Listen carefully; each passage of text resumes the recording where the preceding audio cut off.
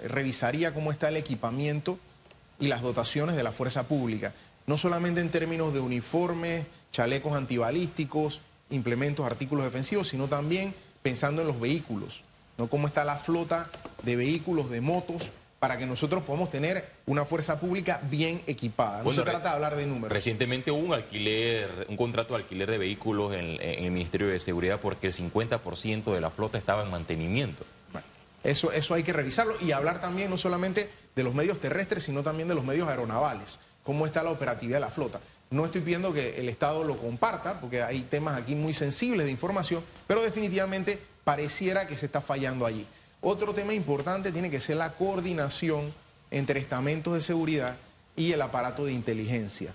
Parte de ese problema que nosotros vemos en la seguridad ciudadana pareciera ser que no existe un buen puente de comunicación entre el aparato de inteligencia que está en el Consejo de Seguridad y lo que es la fuerza pública. Recuérdense que nuestro país tiene que combatir también con intensidad Así el es. crimen organizado, al mismo tiempo que hay que garantizar la seguridad ciudadana. Entonces no es solo desmantelar eh, organizaciones criminales, incautar droga, también hay que velar por la seguridad de todos los ciudadanos, los robos, los hurtos, las estafas.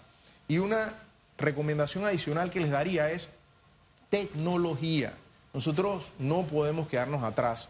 En el periodo 2014-2019 me tocó como ministro liderar el establecimiento del Centro de Operaciones Nacional, C5 Panamá, Comando, Control.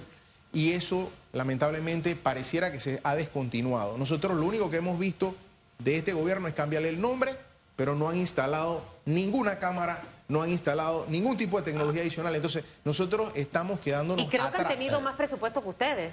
Sí, correcto. ¿Ha, eso es correcto. ha habido un retroceso en, en esta estrategia Mira, que implementó yo, el yo gobierno no, yo no pasado? puedo decir que ha habido un retroceso, pero yo no puedo decir que ha habido un avance.